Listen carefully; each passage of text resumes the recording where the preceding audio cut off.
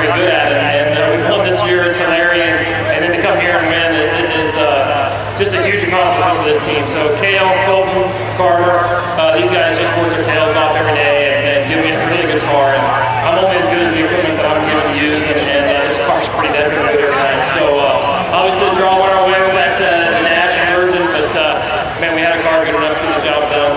So uh, just couldn't be happier. You started the pole, you got incredible restarts on the bottom, where you continued to run the whole race. The 21 was coming on the top. You couldn't see that. He tried to get around you, showed you the top, and then you moved to the top. Well, I, I, never look at the lineup board ever under green. Brad Sweet told me a couple weeks ago he was looking at it like during time trials or looking at times or something. I'm like, man, I never look at it. But I have to admit, I looked at about four to go and saw 21 run second. And uh, anybody who's raced here very long knows that the last car number they want to see behind with a couple laps to go is that 21.